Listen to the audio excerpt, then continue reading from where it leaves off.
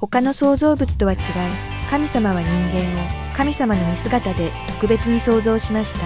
人間にある神様の似姿とは何でしょうか？広い意味で人間が持っている神様の姿は知性、感性、意志です。動物は本能で行動するだけで知識は増えません。しかし人間は精神的で理性的に考えられます。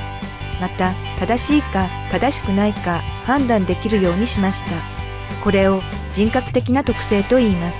また、神様を知っている知識、清さ、義を通して神様の似姿で創造したことがわかります。これを狭い意味で神様の姿と言います。